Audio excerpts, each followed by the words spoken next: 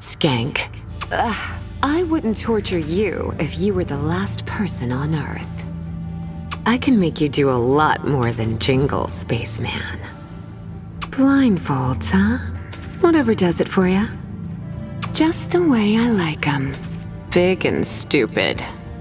Why don't we leave the lights on for this? You look like someone I could hurt for days. Have I told you how your parents cried with their final breaths? Don't worry, love. You'll join them soon.